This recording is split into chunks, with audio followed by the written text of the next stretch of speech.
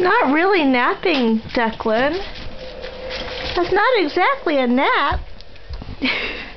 what happened? What happened to your swaddle? Um, let's see. You're halfway out of your PJs. You're totally upside down from the way I put you in.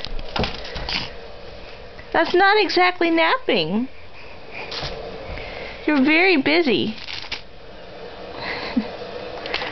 Is that what you wanted? Ah, yay! Yay!